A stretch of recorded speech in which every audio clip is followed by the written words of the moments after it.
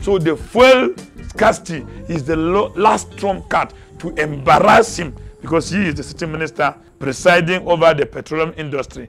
They will sap all the money that is left and endebt the country and make sure that when he's leaving in 2023, he will be so humiliated by the people he has brought in.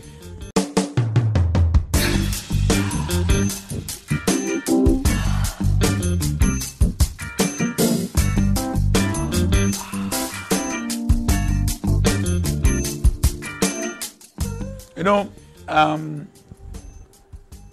Buhari's government has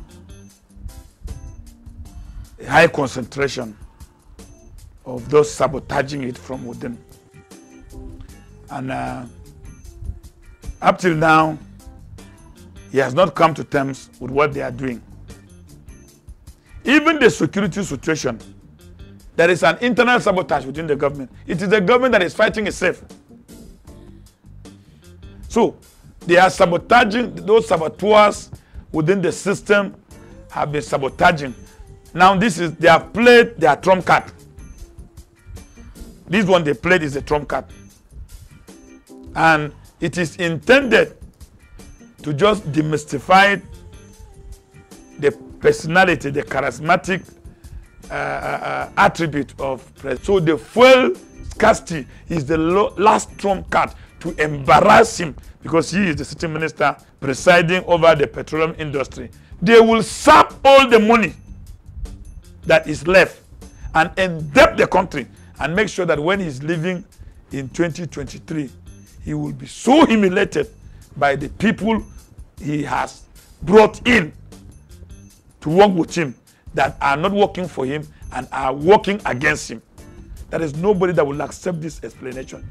Even in the forest where baboons are gathered within their government, they will not accept this explanation.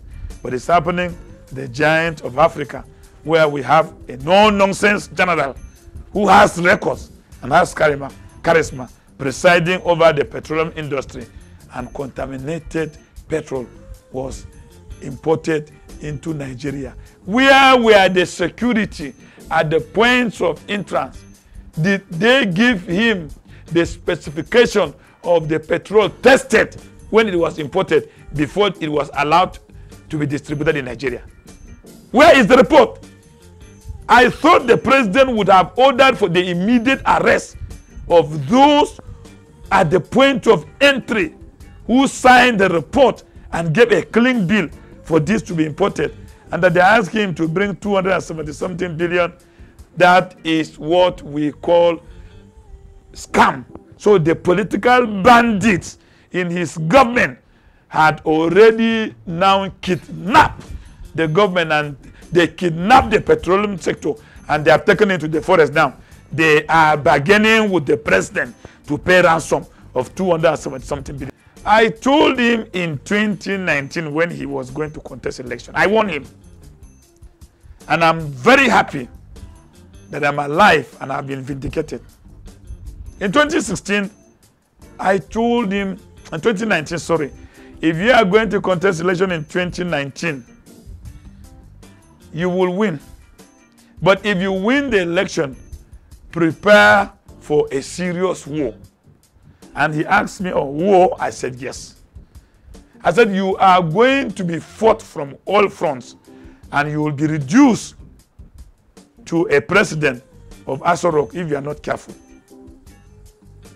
I also advised him that if he wins in 2019, he must form a government of people who believe in him and believe in his charismatic leadership and that those whom he appointed will have to fight and fight and fight and defend him. As, as they are fighting, they will also open the political space for him to have time to develop.